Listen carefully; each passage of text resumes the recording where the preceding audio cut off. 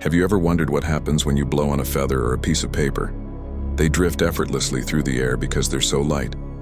Now imagine something even more incredible. Planets as light as cotton candy, floating in space. Sounds impossible, right?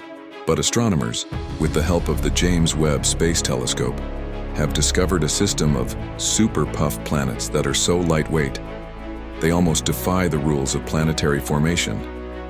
Where are these strange, fluffy worlds, and how did JWST manage to spot them? Let's dive into this astonishing discovery.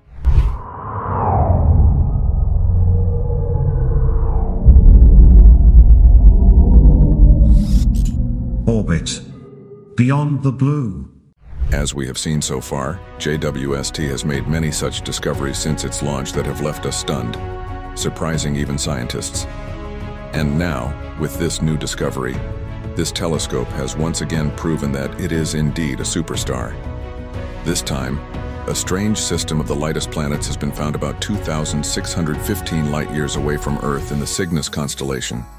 Such planets are called super puff planets. Scientists had already discovered three very light planets here, and now a fourth planet has been discovered through the James Webb Space Telescope. All these planets orbit the Sun-like star Kepler-51. In such a situation, scientists now believe that a whole system of the lightest planets in the universe may exist here. Now, let's talk about how JWST discovered this. The fourth planet of this strange planetary system was identified when the results of a study investigating Kepler-51d were published in the Astronomical Journal on December 3rd. This newly discovered exoplanet has been named Kepler-51e. According to Jessica Libby Roberts, a team member of the Center for Exoplanets and Habitable Worlds at Pennsylvania State University, superpuff planets are extremely lightweight because their mass and density are very low. The three planets discovered earlier are the size of Saturn, but only a few times more massive than Earth, giving them a density similar to cotton candy. These cotton candy-like planets have small cores and enormous puffy atmospheres made of hydrogen or helium. How these strange planets were formed remains a big mystery. Super puff planets are quite rare in the universe, and when they do appear, they are usually the only ones in a planetary system. More research is needed to fully understand this new discovery. Since Kepler-51e has an orbit of 264 days, researchers will need to monitor the system for a long time to determine how this new planet's gravity affects its companion planets. Moving away from the discovery of new planets, let's focus on JWST's discovery of 700 new galaxies. How did this all happen? Let's find out. In fact, the James Webb Telescope discovered that there were more than 700 galaxies in the early universe, a discovery that was previously unknown. Scientists led the investigation of galaxies that came into existence a few million years after the Big Bang. According to the Standard Model of Cosmology, this important period of time is known as the era of reionization. It was believed that during this era, the universe was filled with a gaseous fog that made the universe opaque to energetic light. Our models suggest that only a billion years after the Big Bang, this fog cleared and the universe became transparent. This process is called reionization, and so, during the era of reionization, it was considered impossible to form stars, let alone galaxies. But Webb proved us wrong in this thinking. Yes, a surprising twist came when scientists identified more than 700 candidate galaxies near the edge of the universe. These galaxies were spotted when our universe was in its infancy, between 370 million and 650 million years. The huge number of these galaxies was much more than predicted by observations made before the launch of Webb. The excellent resolution and sensitivity of the observatory allow astronomers to see these distant galaxies in a better way than before. NASA scientists said, previously, the earliest galaxies we could see looked like tiny spots, yet those spots represented millions or billions of stars at the beginning of the universe.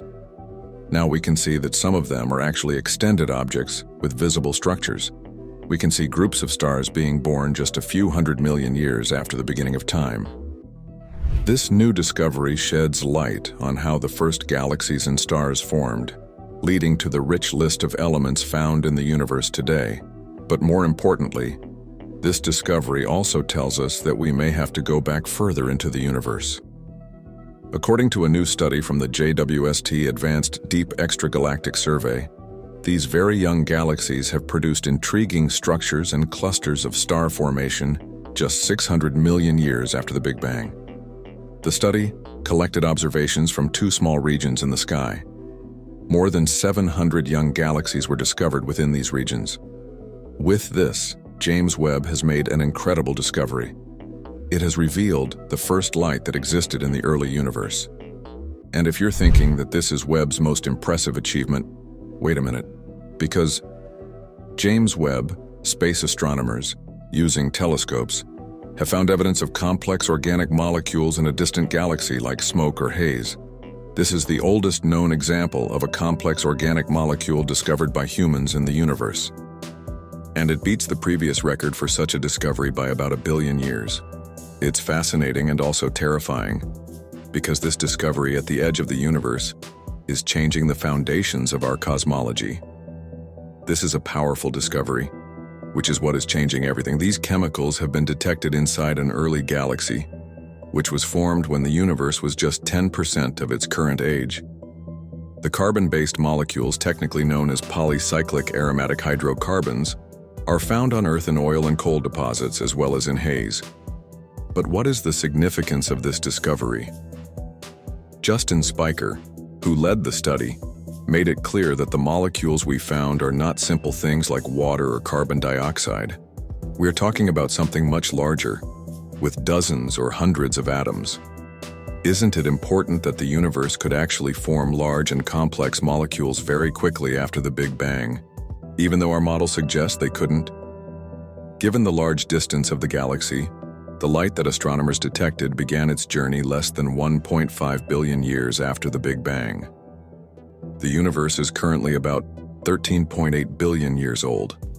We are looking at the very beginning of the formation of the universe as we see it today.